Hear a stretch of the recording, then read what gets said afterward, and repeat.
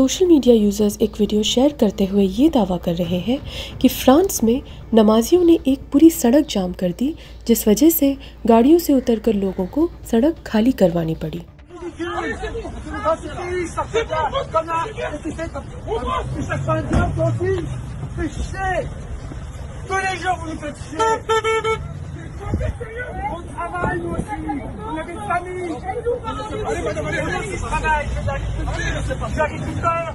गलत और अधूरी जानकारी फैलाने के लिए जाने जाने वाली मधुकेश्वर ने भी ये वीडियो ट्वीट करते हुए यही दावा किया था, लेकिन बाद में उन्होंने इसे डिलीट कर दिया।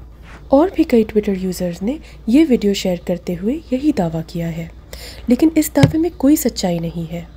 ऑल्ट न्यूज़ ने इस वीडियो के एक फ्रेम का रिवर्स इमेज सर्च किया। एक न्यूज़ रिपोर्ट में मिली जानकारी के मुताबिक, ये वीडियो क्लाइमेट एक्टिविस्ट का है, जिन्होंने पेरिस में एक पुल पर ट्रैफ़िक रोक दिया था। एक अन्य रिपोर्ट के मुताबिक क्लाइमेट एक्टिविस्ट ने ये विरोध प्रदर्शन 26 नवंबर को किया था। प्रदर्शनकारियों ने सिंह क्लाउड ब्रिज को सरकार की ऊर्जा नवीकरण योजना पर चुनौती देने के लिए जाम कर दिया था। खबर में ये भी बताया गया है कि इन प्रदर्शनकारियों को बाद में पुलिस ने हिरासत में ले लिया था। हमने वीडियो में दिख रही जगह को भी वेरीफाई किया।